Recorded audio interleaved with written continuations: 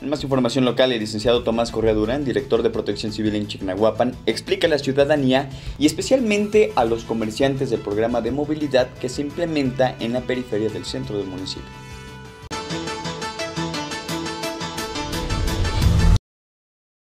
reiterar la invitación que se les viene haciendo a liberar sobre todo las vialidades, banquetas, eh, eh, arroyo vehicular.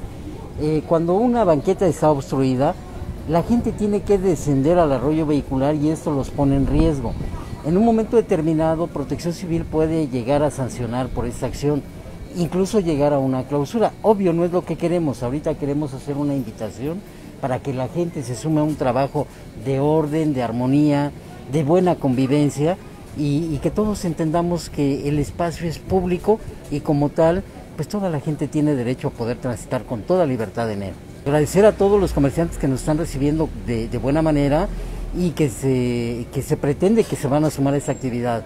Eh, esperamos contar con ese, con ese apoyo y bueno, pues la gente que no se sume, el día viernes ya estaremos aplicando alguna, alguna medida ya más drástica.